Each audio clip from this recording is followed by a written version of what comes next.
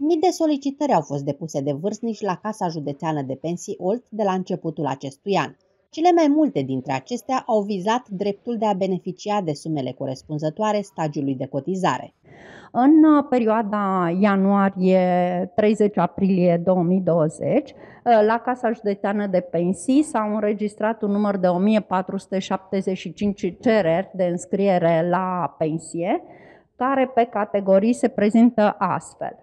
Pensii limită de vârstă, un număr de 657 cereri, pensie de serviciu 4 cereri, pensii anticipate 18 cereri, pensie anticipată parțial 222 de cereri, pensie de invaliditate 347 cereri, pensie de urmaș 217 cereri. Și pensii din legi speciale un număr de 10 cereri.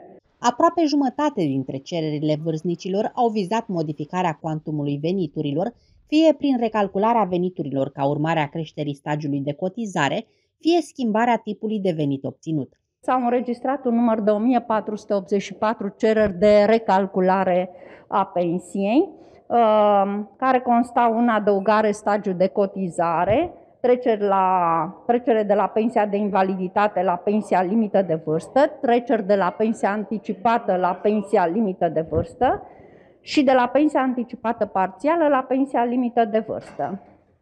Uh, de asemenea, s-au uh, efectuat din oficiu, fără cererea pensionarului, un număr de 397 cereri. Numărul pensionarilor existenți în evidențele Casei Județene de Pensii ULT a depășit 100 de mii cei mai mulți obțin venituri din bugetul asigurărilor sociale de stat. În evidența Casei Județene de Pensiolt, la data de 30 aprilie 2020, uh, sunt un număr de 106.154 pensionari din uh, sistemul de stat și din sistemul uh, de agricultori.